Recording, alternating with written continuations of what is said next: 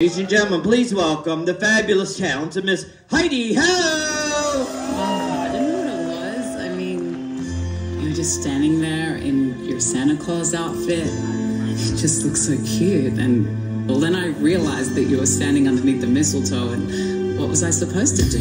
I never thought that I would be your gift under the Christmas tree. Unwrap me cause it's Christmas Eve.